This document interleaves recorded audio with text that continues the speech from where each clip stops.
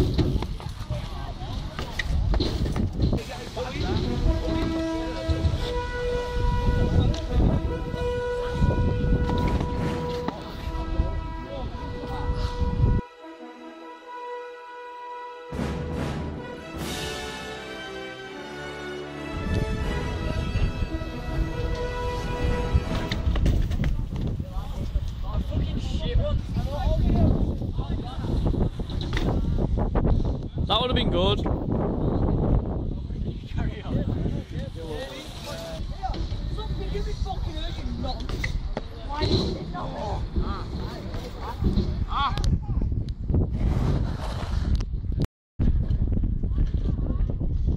Yeah.